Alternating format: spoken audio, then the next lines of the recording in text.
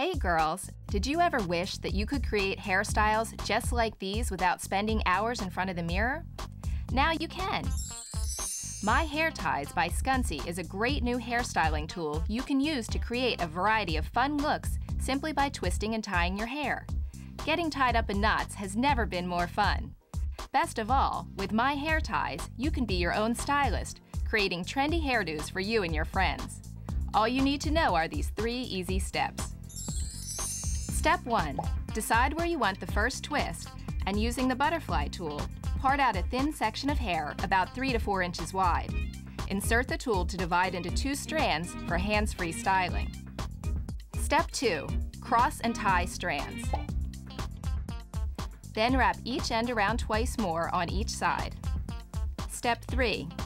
Pull each end outwards in opposite directions to tie a loose, twisted knot.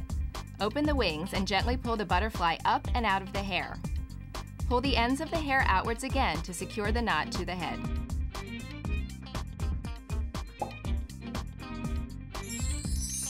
That's it. One, two, three. And by repeating these three steps, there are endless ways to style your hair with this cool tool. Once you practice these three easy steps, try creating these other trendy do's.